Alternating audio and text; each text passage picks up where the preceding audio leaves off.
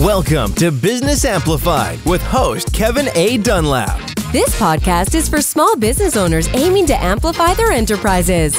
Explore strategies to play a bigger game by becoming an author, public speaker, podcast host, or expanding your brand in other ways. Elevate your business on Business Amplified.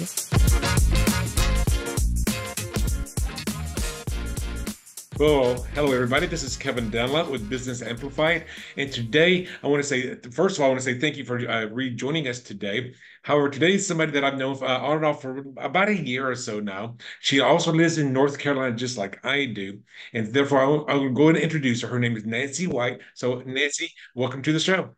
Oh, thank you, Kevin, and thank you for allowing me to have some fun time with you. Well, it's my pleasure. I, I know you've uh, and I've talked uh, several times, and you know, you know, we talked about uh, different kinds of business and and, uh, and other things, and we've even uh, talked about referring people uh, to each other. so, Nancy, for the audience that doesn't know who you are, or even the ones that do know who you are, could you tell us a little about who you are, what is it that you do, and why is it that you do it? Oh, thank you, Kevin uh, first and foremost, you know, you and I are both have been in the entrepreneurial space for a while, and this is always a learning journey, and we're never going to stop learning. So, corporate America kicked me out 40 years ago, and I decided that I was going to start this entrepreneurial journey, which has been an amazing journey over the last couple of decades. And one of the things I think for entrepreneurs, especially, is that you have to have that mindset that you know what? I want to learn from others. I'm not going to be able to do it by myself. And it's not just like going to that nine to five job where you can just leave it. So this has been great for me. I've started some businesses. Some have flopped. Some have you know done great. I've sold some. But at the end you know being in health and wellness in that space is so dear to me because I had a father that died when I was nine of Hodgkin's, and I had a brother that died at 22 of leukemia. In fact, he was studying to be a doctor in the Navy and discovered his own leukemia, Kevin, and lived two years longer. So I have always been in this space of, again, researching, learning, doing all these things to find out ways to be as preventative as possible, but also to be as combative. Because, you know, in this world that we live in, we're always going to be being bombarded our minds, our bodies, and our spirits. But I love also, just like you, connecting people. And I've been leading networking groups for over 20 years. And I've had a franchise for a women's network group and had over 4,000 different ladies in my home and 150 nonprofits featured and been part of um, eWomen, eWomen Network for 20 years as a platinum member. So these are things we always want to find resources to be able to use for ourselves or to share. And to me, that's the beauty of networking. It's just not something that you're just going out there trying to just quote sell or finding your next client or customer. It's finding amazing resources for us to utilize and then also again to share with other people, which you do such a great job too, Kevin. Well, thank you, Nancy. And I, I, and I will say that I also love networking. I, I love it especially uh, uh, for me uh, during the times that was pre-COVID. And when I lived in Las Vegas, I used to go to a lot of networking events or like education-based networking events. Like you know, we a three-day event, four-day event, uh, event.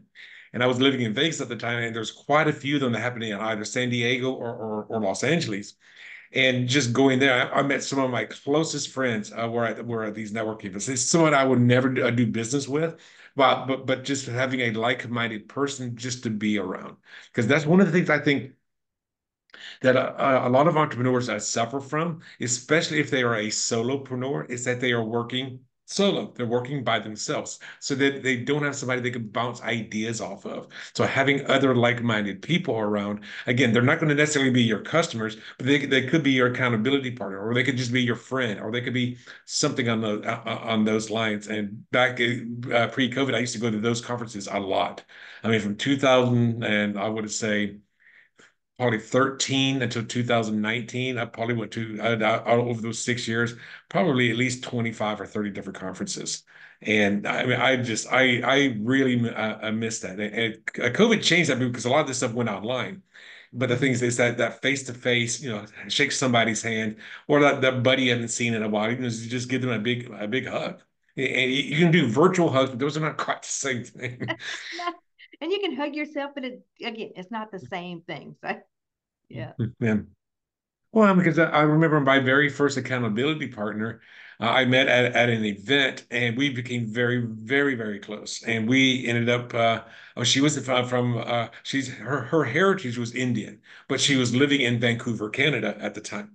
I was in Las Vegas and we i mean we're still very very close friends. I mean if i say anything about she's my brown sister if i ever start talking about that that's exactly that's exactly who i'm talking about. And uh, and i remember we were accountability partner uh, accountability partners for about two years where we would talk once a week sometimes twice a week. And we got to realize that's that at that time that is an international call know, U.S. calling Canada or vice versa. So we had to figure out ways to uh, to get around that. Now we just use Skype, but but, but before, excuse me, uh, uh, WhatsApp. But but before that, it was like, let me get the, the the Canada Mexico plan for an extra five or ten bucks on my phone, so I can give her a call. yeah, I know. Uh, when... so go ahead. So, so tell me a little bit about uh, uh, about the stuff that you're doing right now here in Charlotte. Well, I am just still loving just helping people just to set up their healthy lifestyles. And just like you, it's not just Charlotte. I mean, we're global now um, because of how we can connect with people. But I really um, love helping to hear what people are doing for their healthy lifestyle, Kevin, and celebrate the good things they're doing, and then finding out areas they may need to be tweaked in. Um, because I mean, it's 71. I want to continue to age with strength and vitality. And I think other people do too. Not everybody has that healthy mindset, but you know, more and more as the closer to the next season of life we come to, people are being more aware and cognizant of the things that they're doing. The things we're doing today are affecting us for years to come. And a lot of people mm-hmm. don't realize our body completely regenerates every six to eight years, then you might as well make a new good one. I really love helping cancer thrivers, um, Kevin, especially since my father and brother both died of blood cancers. And I love giving people hope, especially when they've gone through some challenges um, that, you know, mm. they can do their best. And I love sending them some fun little tips and some things that gives them more peace of mind. Um, so I love doing that. And I also have a TV show on Win Win Women TV. I love having different ladies as guests from around the world because everything we do pretty much um, nurtures our mind, our body, and our spirit positively or negatively. and so when we can find those ways to really inc- lift up other people and to be able to be able to bring some more joy and happiness and hope in the world, oh my goodness, who doesn't want or doesn't need by the end of the day after they have gone through listening and hearing to all the negative things or going through things of life they need to have something that is going to be able to lift them up. And I love helping people just to, you know, again, how to nurture that mind, that body, and that spirit. I call it BNR. We can bless and release, and you have to create openings to be able to receive things. What do you think are some of the uh, uh, biggest challenges that your clients are going through? Uh, is it that they have not, they have to change their lifestyle or change their health lifestyle because maybe they're just not not always eating the best foods or consuming the right uh, stuff? Well, one of the things I think most people they just need to stop for just a moment and do an assessment just to see where they are. Um, because you know a lot of things that we've been taught growing up or whatever it becomes just natural and habits and it's not you hmm. know for everybody forever and again as we go through different seasons of life your body needs different things and um, different nutrients and and i would i was teasing a, a gal she's a naturopath the other day and and I was talking to her about all the new, I call it fake food they're they're creating and they're manufacturing and things. And we were talking about how our, our bodies handle those types of things.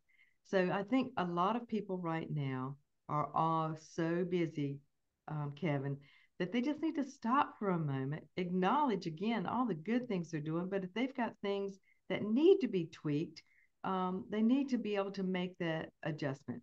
And just like entrepreneurs, I mean, you know, we set projects out and things, you know, you've got your goal, you reverse engineer it, you go those steps to be able to reach that goal. It's the same thing with ourselves and our health. We want to do those little things day by day, step by step, and and be able to reap the benefits. And that's one of the things I think a lot of people, I mean, when we were 20, we didn't care anything about when we were going to be 60 and what we're, what we were going to be doing. So, you know, I think people don't realize in this country too, the pharmaceuticals and everything, every so ready to give somebody a quick fix, but they don't tell you the repercussions that could possibly be 20 and 30 years down the road. And, that's true because I, know when I was um, I, was born in in '67, and when I moved to uh, Wilmington, North Carolina, that was 2001, uh, 2000, was uh, 2000. So I was t- t- basically um, 33 years old at that time and and some of the things that I was doing there, I was not thinking about the repercussions that it could be at a later time, and that's when I actually decided to get into doing some stunt work, and not realizing that you know those you know those those jumps, those falls, you know that, that I'm doing now and then my body's absorbing may have a long term effect, and I did know that the the other stunt coordinator that I worked with, his name was Joey. Uh, is that the last I heard, I haven't seen him in over 20 years, but even 20 years ago, when he was in his 30s and 40s, he was banged up so much he could barely walk. And I can just imagine now uh, that he's probably in his uh, in his 60s now. Yeah, assuming he's still alive. Just uh, is he uh, is he how, how healthy is he? Yeah. And and the and the thing is, uh, we uh, we we take for things for granted in our younger ages, not realizing what the repercussions are going to be at a later time. So, so, uh, so that, that you told me some things about reverse engineering from a goal, which I mean, I, I do talk about that. It, it is in my second book. However, I don't hear too many people talk about it that way. So, could you give us an example of, say, uh, doing reverse engineering with somebody's uh, a new client's uh, health, like yeah. seeing where they are right now, where they want to be, and then how do you how do you get them on that path? Absolutely, and that's just exactly what we do. It's just like we talk about what what would be their way to feel more thriving and just you know instead of just surviving you know what does that look like? And and so i want to hear from them what's important to them. I mean you know how many people always tell you that you know you shoulda coulda woulda but anyways but finding out what it is. And for example if they need to be sleeping better at night then we talk about the ways to be able to to get to their again those steps and then reverse engineering it and then taking one step at a time and then celebrating and then you have to maintain it. I've heard so many mm-hmm. people talk about you know i mean i've stayed six sizes down for 17 years i'll never diet again but you know i have to maintain it. And so for me to maintain it i know the steps that i need to do every single day. And it doesn't mean i don't get to enjoy pizza and beer and enjoy life and fun and celebrating and those types of things. We learn how to counterbalance. We learn how to make those again plan prioritize and just you know do those things um, that we know are going to be good for us. I mean that's what self-care is all about. I can't do it for you and you can't do it for me. And so talking with somebody to find out where it is where they want to be and then where they want to stay and maintain and then when life happens because it will then you have to be able to know some different alternative ways to get back and to build that immune system back up, whatever it takes, or to, you know, to get on that healthy journey again. Because that's really, Kevin, what it is. It's a journey. I tell people all the time, we're just taking care of these temporary temples until we get our permanent maintenance free one. and, mm-hmm. and I said, and it's even more important than it's fireproof. And they go, yeah. Well, tell, tell me what you were saying about, about dieting and you know whatever you're getting from that point A to that point B that you that, that final point B. But the thing is, I think what you said, uh, how what resonated with me was, it's not necessarily, you know, I, I got to diet to get down to this weight, or I got to do this to start getting seven, eight hours of sleep an hour. I got to do this, which is fine. That's what you got to do. And you talk about maintaining it. Well, the only way that you're going to maintain it is to actually have a lifestyle change. Yeah.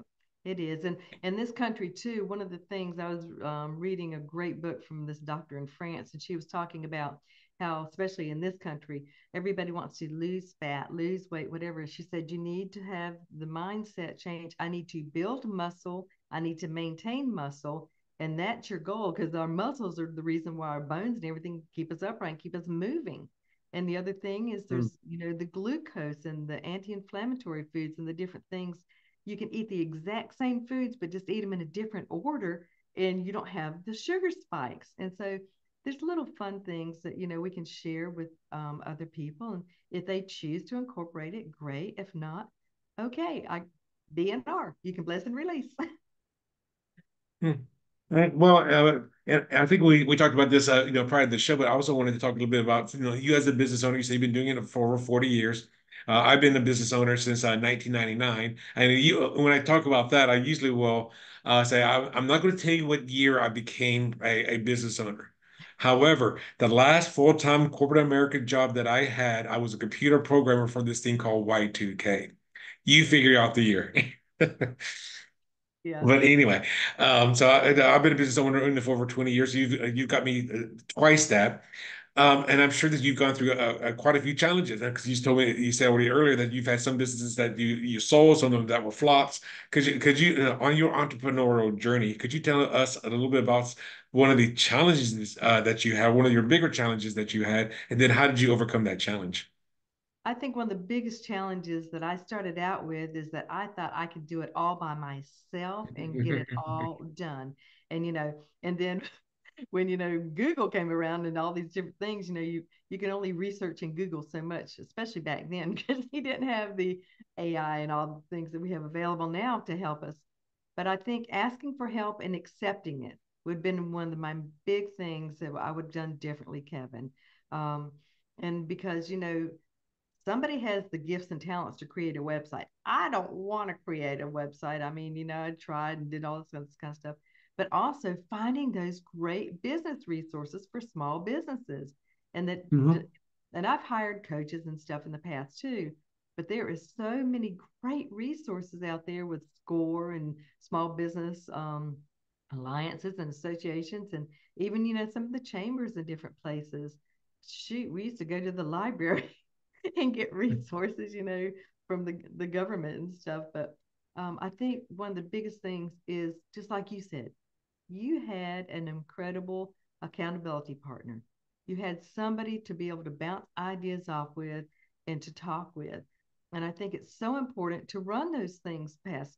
If you've got a, a getting ready to launch or you're going to do something new, have some other people give you feedback.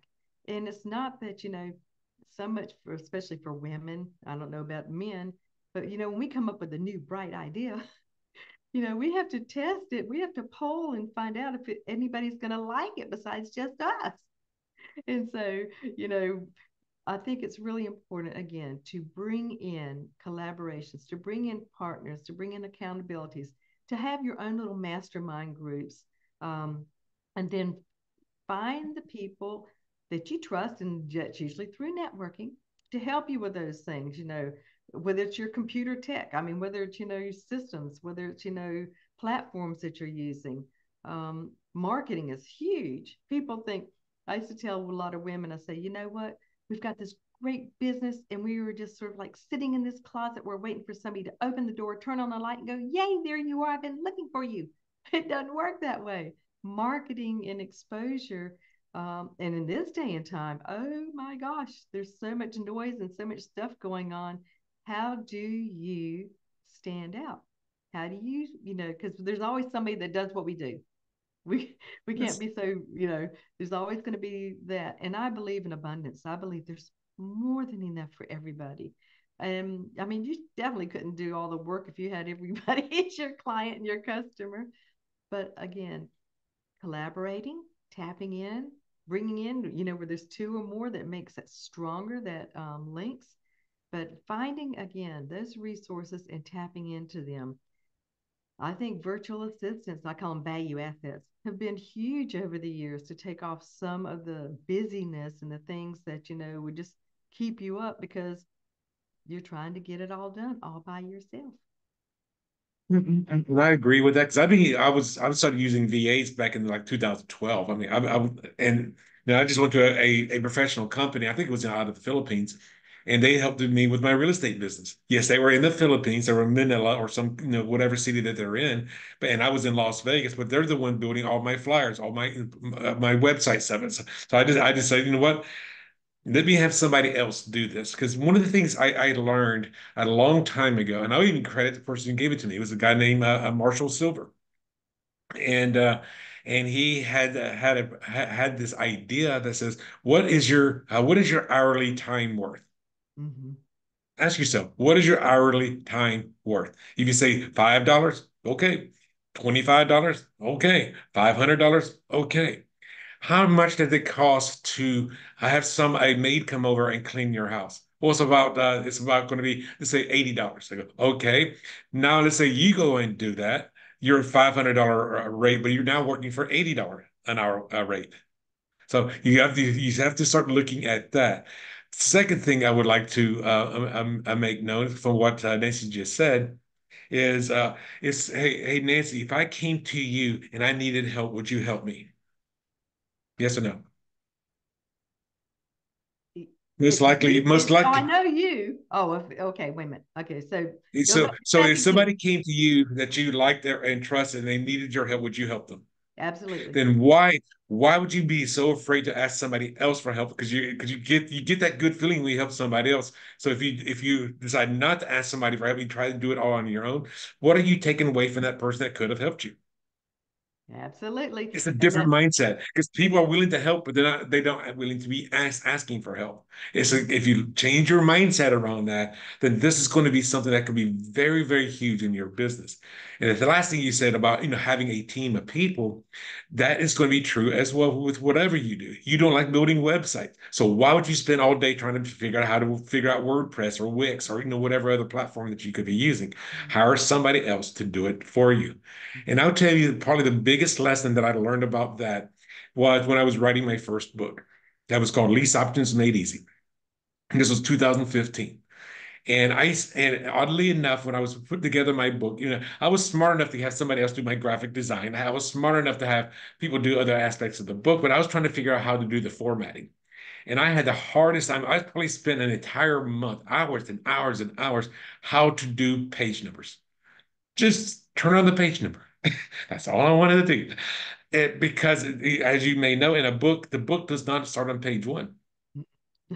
Page one is usually probably the 13th or 15th page in the book, especially if you've got testimonials and your cover page and your copyright page and your acknowledgments and about the nothing about the author, but the foreword. And you've got all of those other things, your dedications, all of that comes before uh, even your table of contents. All of that comes before your page one.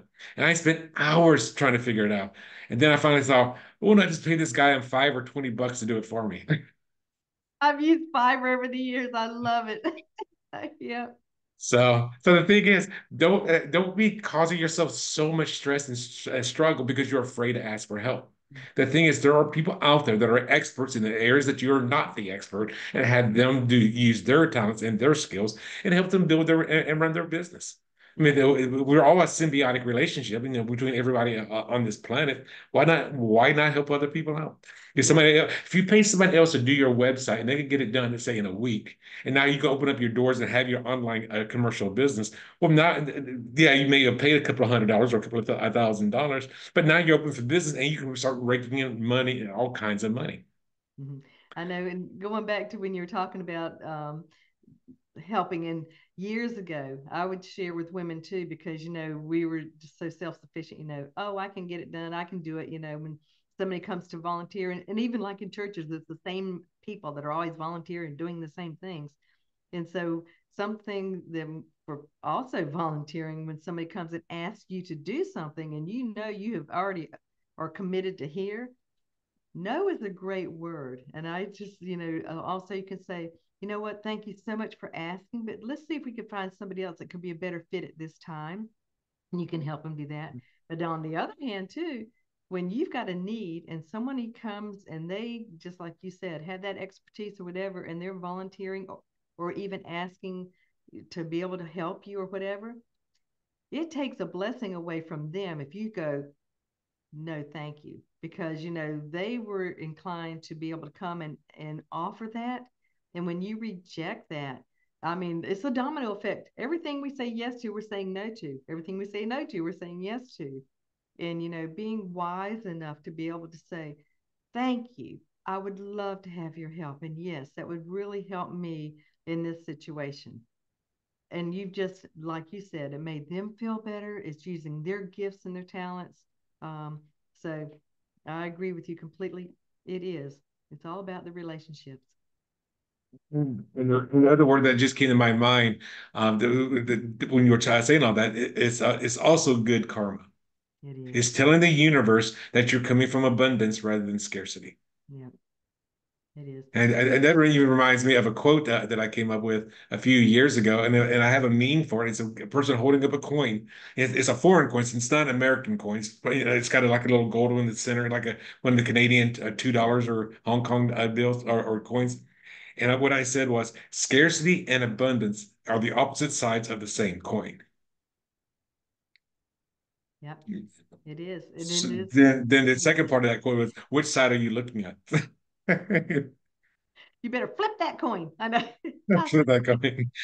Um, so, so, so you uh, shared with us about some of your challenges. Don't you share us about one, one or two of your, of your great successes? Now, as we know with this show, this Business Amplified show is all about getting out of your comfort zone so that you can get more exposure, so that more people know who you are, and thereby uh, uh, increasing your business. So, what are some successes that you had by putting yourself uh, outside your comfort zone? And it could be anything from going networking or or doing something else. Well, I really see um, that one of the things that years ago too, especially talking about money, and money has to keep moving to make money and to grow.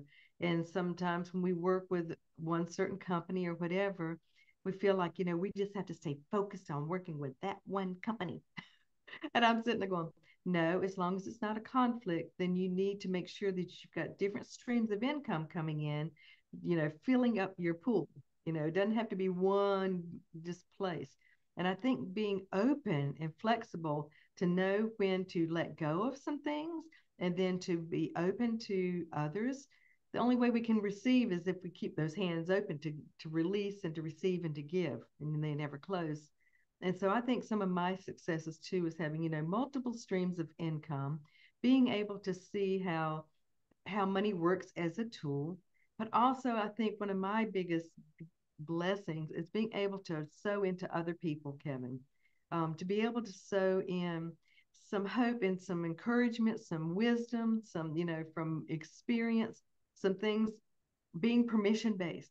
May I share something that might could benefit you? Or, you know what, if you hear something and it, all of a sudden just goes, um, and you can just say, you know what, may I make a suggestion how you could reframe that or maybe this is not the right time. So I think for me, again, it's all about those relationships, successes. Okay. People have told me years ago, you're a walking encyclopedia. You should write a book, blah, blah, blah, blah. And I'm going, I don't want to write a book. And so I've learned you don't tell the Lord you don't want to do something. So four books later, I'm going, I'm not saying what I'm not going to do anymore. I'm going to say I'm open to learning and I'm open to doing and sharing and evolving. And even today, I mean, I in my brain a couple of weeks ago, a new thought and a new idea came about to help me open up a different kind of branch in my business to serve a different demographic of one of which I have become recently. So, you know, I want to continually be learning, never stop, but also receiving and giving. And to me, you know, as an entrepreneur, we get to pick and choose who we work with we get to mm-hmm. pick and choose our work times. If I'm going to work from the beach or whatever for three months or three weeks or whatever, I'm going to do that. If I choose that I'm going to just, you know, take some time off um, to go through some other planning or uplifting times, I think that's the beauty of it. When you continually work towards getting to, um, we never quote you arrive. I mean, when you're an entrepreneur, you're always going to be an entrepreneur. And it doesn't matter, you know, the time or whether it's a lot of time or short time. But when we're serving, to me, that's really, you never stop serving others. Mm, that was a, that was very well, well said. Thank you very much, Nancy. So, uh, so Nancy, as we're wrapping up the show, um, if somebody here is resonating with you know what you're saying, either about their health or, or about something else, how could they uh, get a hold of you? Well, they can just go to my website, thehealthysaleschick.com. I'm also on LinkedIn and social medias, but um, I love just setting up a time just to talk with people, just to hear their celebrations. But probably through my website, thehealthysaleschick.com, there's a way that they can set up a time to schedule just a fun time for us to chat for 20 minutes. Okay. Well, there, oh, there you have it. It's at the, the healthy sales chick, C H I C K dot com. Yeah. Okay, there you go. And and for those of you who are listening out to this show and you feel like maybe you've got a message or you've got something that you would like to share with the world, I, I will also volunteer to have you guys uh, go ahead and schedule a 15 minute uh, pre-interview uh, with us. Uh, to see if you uh, if if your message actually resonates with our audience. And for that, you can go to businessamplified.net forward forward slash pre-interview. Again, that's businessamplified.net forward slash pre-interview. Well, Nancy, I, I, had a great pleasure having you uh, on the day. I'm, I'm glad some of the things that you say, because these are things I've been saying to myself. I just don't hear other people saying. So that was a, a true treasure trove of information. So, uh, Nancy, uh, any last words before we say goodbye? No, I want to thank you so much, Kevin. And I appreciate what you're doing for other people, bringing resources, great things um, to help other business owners to be able to just continually rise up and continue to scale. And you know what? If somebody wants to do something, do it because we're not guaranteed tomorrow. So you better just take the whole leap and just say, you know what? I'm going to do it.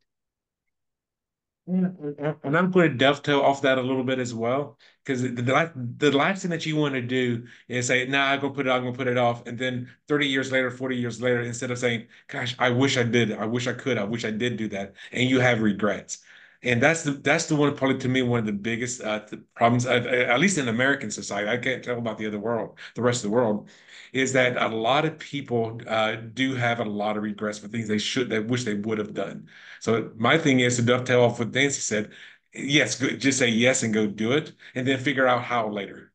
And that's one thing Richard Branson, I think I learned from him was, uh, yeah, he, uh, he just say yes, figure out the, yeah, figure out the how at a later time. So just, so it's for an example, if someone says, Hey, hey, Joe Boss, would you like to give a talk to these 30 people? And you've never given a talk before.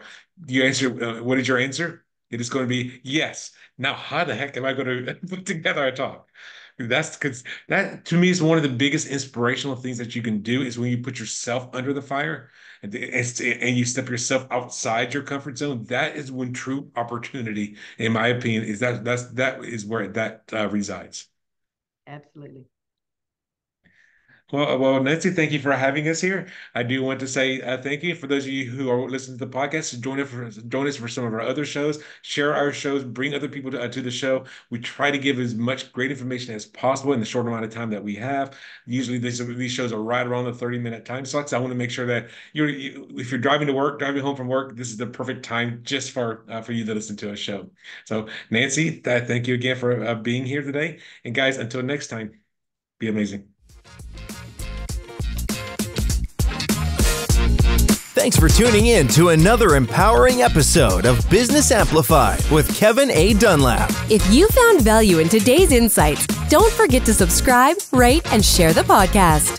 Keep amplifying your business. And remember, your success journey is our inspiration. Until next time on Business Amplified, go out there and make your business thrive.